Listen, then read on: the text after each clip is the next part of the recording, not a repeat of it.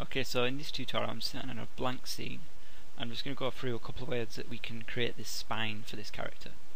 So the first way is the IK spline tool, which we're going to go into. So if I just pop to the front view, and I'll just create a few joints in a straight line. And the IK spline tool basically um, creates a curve down the middle of the spine and an IK um, handle. And what we're going to do is it uses the curve to deform these joints. So as we deform the curve these joints follow along with the curve. So we can get the IK spline by going to skeleton IK spline handle tool we'll just go to the options and I'll just reset the options. So a couple of options in here um, number of spans is the main thing. If you've got quite a long spine you might want to use more spans because essentially we're going to be deforming the curve in here so increasing the number of spans is going to give us more spans to work with, more CVs to work with. Um, we can take off auto parent, so what this usually does is it automatically parents that curve inside your Maya scene, like your outliner. And because we're using like a character node, we've got these little groups, we know where things need to go, we want to parent it ourselves, so we just take auto parent off. And the same with auto create curve. If you use auto create curve, you click on the start and the end joint, it'll create a curve straight between those two. So, well, between all these joints. So it's like an automatic curve. But if you want to use your own curve, you can go ahead and use that and select that once you're using this tool and uncheck auto create curve, which will mean it'll use the curve you've created. So if you've got some sort of complicated spine and you want specific CVs to be in a certain area, you can use the curve that you've created instead of auto creating it. But for this I'm just going to auto create it. So we click on the start joint and the end joint. And if we go to the outliner over here, we can see it's created IK handle and a curve. So what this means is, so I'll just unselect joints in the selection handle and with the curve selected I'll just right click and go to CVs and this means as we move these CVs about, we're deforming the curve, which in turn you can see is deforming those joints. So we can get a nice uh, smooth spine going on. Now the idea of this is um, we can have use clusters on these joints, or what I tend to prefer is we could actually create joints. So I'm just going to increase the radius of these and just snap them to the start and end of this. And I'll turn on joint selection again, select these two joints, shift select the curve, and just go to skin, bind skin, smooth bind. And I'll just reset the settings and just put it to selected joints and hit apply. And this means we can actually skin um, joints to curves, so this curve is now being skinned with these two joints. And that means as we move these two joints, we're moving the curve which in turn moves this joint chain through the spline IK. So you can see here, moving this top joint and rotating it, we can now get these nice sort of spine shapes that we want. The only problem with the spline IKs is it's got a nice twist in the Z, nice twist in the X, but when we come to the Y axes, there's no twisting in there and you can set this up so if we select the IK handle go to the attribute editor enable twist control. There's ways in here that here that we can use object rotations and use different things to control the twist of the spine. But generally it's there's other solvers out there which we're going to go into in a sec which are generally better at setting up that twist. So for this reason we're probably going to avoid the spline IK for this tutorial. And another good reason to avoid the spline IK with cartoony character is the stretchiness, squash and stretch. So if we move this down, you can see the joints are staying the same length. And there's a way that you can set up the squash and stretch. So what we do is pretty much similar to the last tutorial, setting up the squash and stretch for the arms. What we actually do is instead of using a distance dimension tool, we use the length of this curve in here. So there's a way of enabling the history on this curve so we can see the actual length of this curve and use that to drive the spine's squash and stretch. But there's a, there's a little problem with the spline IK squash and stretch that when you've got um, a spine with about five joints or less, as you start to squash and stretch, the top joint starts to pop about, which can lead to the animation not looking as good. So you can fix that by using more joints, but in this tutorial we're just going to go through using the ribbon uh, spine setup. So for that I'm just going to go to a blank scene again. And the idea of a, ribbon is we're going to use a, NURB surface. So I'm just going to create a surface. I'll snap it in the grid. And actually if we just look at the surface, you can see I've, I've set the surface degrees to cubic, so 3. Um, the U, U and V patches, so I've set the U to 1 and the V to 5 and then the width to 1 and 5 and along the Z. But you can create any type of NURB surface you want for your custom spine. So for this what this means is if we look in the CV at the CVs of this object we've got 5 spans going up and 4 going down. So what we actually want to do because it's a cubic surface it's got 4 going down along each of these coming down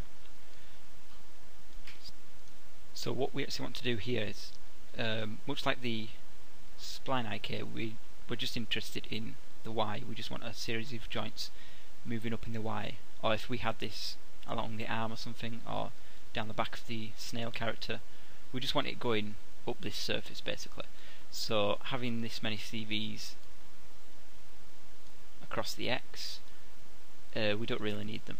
So what we want to do is rebuild this surface.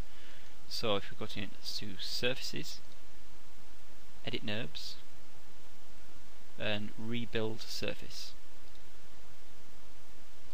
I'll just reset the settings. And we want to change the U direction, I think, but we can always check that later on. And all we want to do is change it to a linear. I'll just undo that. I think we want to set this to 1, set this to 5, and hit apply. Okay, see there, so all we're doing here is, um, whichever direction you chose when creating this surface, you can choose the U, or if you chose the V, so the direction that we want to get rid of, so we want to edit just the U. So just by setting it to U, we're only changing the U direction. If you want to set it to V, if yours is V, set it to V and then any settings down here are only going to apply to the U. So it says number of spans for U and V, but it's, it's just going to ignore this value here. And we just want to set them to 1, and we want to set it to linear. So because it was cubic, it was adding those CVs in between. But so setting it to linear now means we've only got one set of CVs on one side and one on the other, which is what we want. So basically it's sim quite similar to the IK spline tool. Instead of a curve, we're using the NURB surface to rotate the joints. And the advantage of that is a NURB surface is a surface, it has surface normals. So the normals can drive the direction of those joints, whereas a curve, it's linear. It's It doesn't have that third dimension. It doesn't have a normal surface bouncing off it. So what we're actually going to do here is add um, a hair system to it. So we're adding follicles to this. Now, um, if you've never used these before, it might seem a bit over the top or it might seem a bit drastic using hair dynamics, but all we're interested in creating is basically the hair system creates a follicle on a surface and then it has the dynamic hair coming out of it. And we're not interested in that dynamic, dynamic hair, we're going to get rid of that. We're just interested in the follicle, which is basically it welds a point onto this surface that we can then add joints to. So all I'm going to do is go to Dynamics. And if using Maya 2013 it will be nHair. If using previous versions it'll just be normal hair but they still they both use a, a similar sort of method. And after we've deleted the bits we don't want they're still using the same uh, follicles so there should be no difference really and all the tools are pretty much the same so if we just go to nHair create hair go to the option box and in here what we want to do reset settings we'll switch this to uh, NURBS curves, so we'll create as less stuff that we need to delete. We'll set the U count to 1, set the V count to 5, because we've got 5 surfaces along here, we want 5 points, and we just want 1, so all of them going down in a straight line. And then we can leave the rest as the default settings, we're just interested in the, these two values really. We'll just hit apply, and we can hit close. So that's created uh, the hair system. And if you're using Maya 2013 it'll create a nucleus system. But all we're interested here is the follicle. So if we just quickly open up the outliner I'm going to select the hair system. I'm going to select the nucleus one just hit delete so we don't need them. Select the output curves group hit delete don't need them. I'm just going to expand all these groups and what we're interested in here is these follicles. So I'm just going to select every curve group hit delete and just hit shift P on these follicles and just delete the hair system group. So in the end up all we have is these follicles. So if we actually look at these they're just little red points with a little red line pointing out towards the normal of this surface. So if I actually start to deform this, much like the IK spline we're deforming the curve, we're deforming the NURBS surface, the other difference here is as we deform this, it might not show up well on the recording because they, they are quite small, but we can see that that little red line is pointing out to the direction of this surface. So as we deform it, it's pointing up here. It's not pointing straight forward. It's not keeping it's, it's actually following the surface. So what we can do now is I'm just going to go and create some joints. So we had five follicles, so I'm just hit Control D four times to create five joints, and then all we can do is just drag and drop these. So each follicle has a joint. So we're just parenting these to each follicle. And because we parented them, we can now select these joints and just put zeros in the translates. So it matches their parent which is the follicle. And with these joints I'm just going to select them again. And go to display, transform display, local rotation axes. And I'm just going to deform this surface and you can see here so if I just select these two these four CVs and hit B with the move tool to, or hold B, middle mouse click and drag to get the soft select tool. So we've got like a fall off. You can see here as I twist this, we're getting that nice twist from top to bottom. So unlike the spline IK, can see here that we're getting that really nice twist, that Z axis facing forward and smoothly bending all the way to the top. the same in every other axes, we can get this really nice twisting going on. And that's with pretty much no effort. So the advantage of this is it's really easy to set up, but also because it's a NURBS surface, you can see just moving this about, we instantly have the squash and stretch set up. So there's no need to add any squash and stretch systems in there, we're just going to be using the surface and deforming it. And the same way that we created those main controls for the IK tool, the spline IK, sorry. I'm just going to duplicate a couple of joints, the top and bottom joint. I'm going to select them and hit Shift P to get them out of the follicles. And again, we can use these to drive the NURB surface. So selecting these two joints, select the surface. Animations, we'll go to Skin, Bind Skin, Smooth Bind. Let's use the default options, and you can see now we're getting what we want. We can use these joints to so these joints are going to be constrained to different controls. So as the animator moves the control curve it's going to move this joint which in turn moves the surface which then moves the follicles which then moves these joints so these actual joints on the NURBS surface are the ones we're going to use for skinning. These joints here will not be used to skin to the character they're only skinned to this NURBS surface.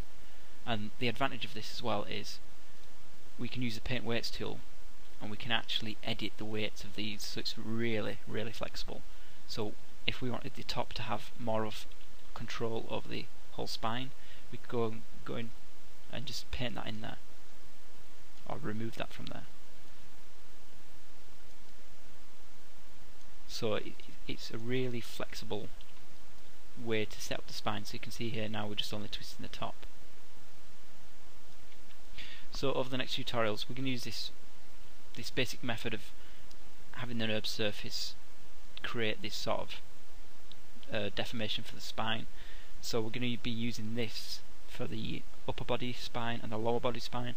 And in later tutorials when we've got the bulk of the character finished what we're going to head and do is you can almost it almost looks like the snail.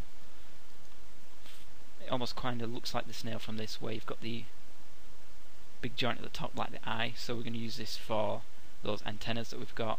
And also we're going to go a step ahead and actually get the arms to drive ribbon spines on the arms. So that way the arm the whole arm jo joints that we've been setting up with the IK and the FK switch all that's going to do is be a complete driver chain to drive these spines so that way the arms are actually these really flexible spines that can sort of create funky cartoony sort of um, bendy shapes out of and then just animate with a normal IK and FK so that way we can start to layer different rigs up, layer different deformations up and get the animator even more control. So use whichever spine you prefer but for this tutorial we're going to go ahead and use the ribbon spine.